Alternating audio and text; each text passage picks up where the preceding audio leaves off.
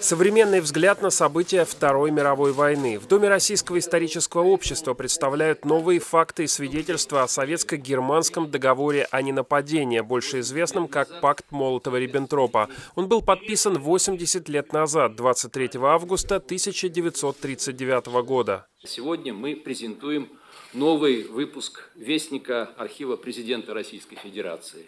Документы, представленные в этом сборнике, подтверждают, что не Советский Союз, а именно Третий Рейх выступил инициатором заключения 23 августа 1939 года договора о ненападении. Для советской стороны это решение было вынужденным.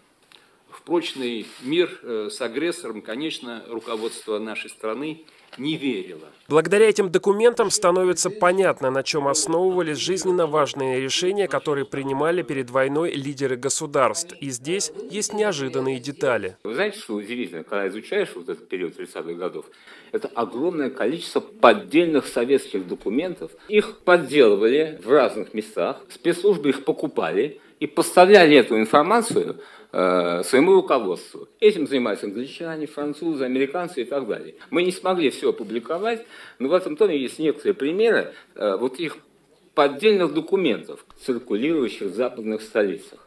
В этих же столицах дипломатами и послами велись разговоры, о которых мы тоже узнаем только сегодня. О недружелюбной позиции в отношении СССР больших геополитических игроков и неискренности малых, говорят данные наших разведчиков.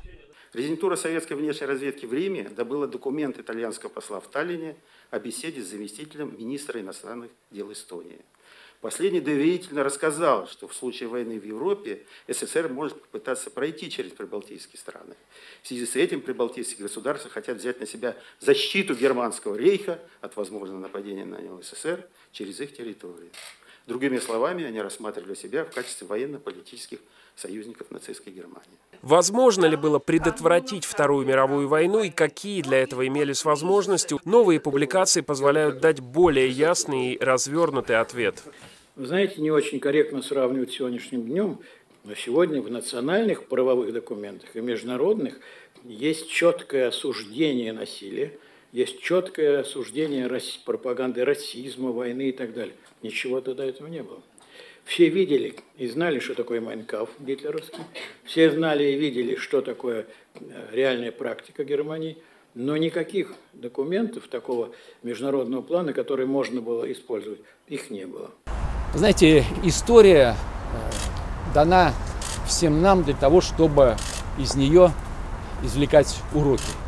Один из главных уроков состоит в том, что э, любое государство которая стремится править миром, а, не удается этого сделать. И это приводит к краху.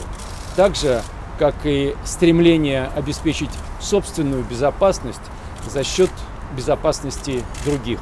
Такие механизмы были выработаны уже позднее, в самом конце Второй мировой войны, в том числе на Международной Ялтинской конференции. Именно там были намечены контуры будущего послевоенного устройства мира и системы коллективной безопасности в Европе. Служба информации Российского исторического общества.